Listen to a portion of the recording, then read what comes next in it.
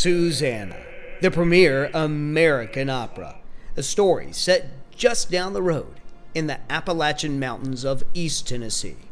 A story about love and longing, forgiveness and shame.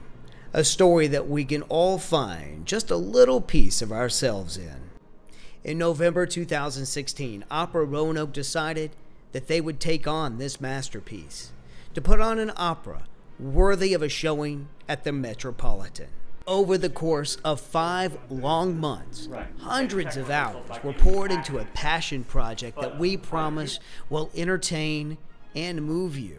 A project with state of the art sets and projections that will transport you to the time and the place of Susannah. And all that time, all that work culminates in what you hear behind me. Magnificent sets.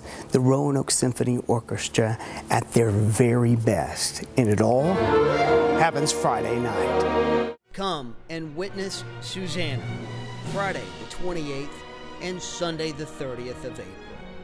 Opera Roanoke. We will challenge everything you think about opera.